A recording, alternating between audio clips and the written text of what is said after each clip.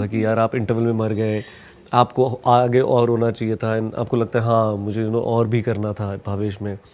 एक रॉबिन जैसे कैरेक्टर को जिसको होपफुलनेस आप उसके थ्रू दिखा रहे हो वही एक बंदा है जो सही चीज़ कर रहा होता है इस बार। अ, कुछ कमेंट्स भी मैंने रीड किए थे। क्या आप खुश हैं मतलब जो आपका कैरेक्टर था रॉबिन का क्या मेकर्स ने उसे अच्छी तरह से यूटिलाइज किया है? मतलब जितने तीन सीज़न हो गए आप कहीं से कुछ कमी लगी है? एक लुक में पहली बार जब आप हम, मैं, मैंने कहानी सुनी थी या जब आप देखते हो शो को, फिर ऐसा लगता है कि यार और भी हो सकता था। यहाँ भी भी एक्सप्लोर कर सकते थे, वो भी कर सकते थे। तो वो तो अगर मैं कहूँगा वो एक सेल्फिश नेचर से आता है बिकॉज़ आप बहुत कनेक्टेड हो उस कैरेक्टर से।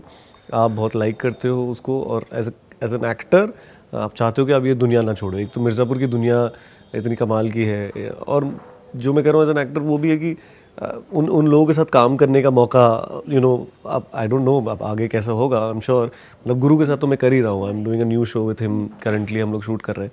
लेकिन वो एक वर्ल्ड जो है दुनिया आप नहीं छोड़ना चाहते हो वो कैरेक्टर नहीं छोड़ना चाहते हो। आई थिंक रॉबिन एक one of the finest characters लिखा हुआ है जिसको मैं तरी तरीके से खेलता था उसके साथ बड़ा मज़ा आता था मेरे को रॉबिन के साथ कर, काम करने में। मेरे को रॉबिन के साथ तो मैं ऐसे बोल रहा हूँ जैसे पता नहीं दो अलग लोग हैं लेकिन हो जाता है। समटाइम्स आप अपने कैरेक्टर को एक कैरेक्टर जैसे ही देखते हो। मैं तो निकल जाता हूँ उस कैरेक्टर से बाहर और फिर मैं अपने आप को देखता हूँ काफ़ी सालों के बाद कि यार ये कैरेक्टर कैसे मैंने प्ले किया। पर हैविंग सेड दैट आप हाँ मतलब एक्सप्लोर कर सकते थे पर ऐसे तो फिर बहुत सारी कहानियों में मुझे भावेश जोशी के टाइम में लोगों ने बोला था कि यार आप इंटरवल में मर गए आपको आगे और होना चाहिए था। आपको लगता है हाँ मुझे यू नो और भी करना था भावेश में। किसी और फ़िल्म में या किसी भी सीरीज़ में हाँ मुझे और भी होना चाहिए था या ऐसे भी कैरेक्टर जा सकता था। तो फिर वैसे तो पचास तरीके हैं बट ये मेकर्स ने ऐसा सोचा है और मैं उसको बहुत रिस्पेक्ट करता हूँ।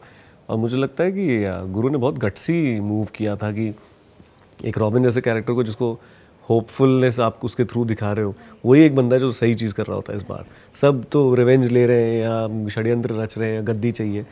ये सही चीज़ें करते करते वो दिखाने की कोशिश थी कि मिर्ज़ापुर में प्यार करने में बैठोगे तो कुछ तो गवाओगे और इस बार वो अपनी लाइफ ही गवा देता है। करेक्ट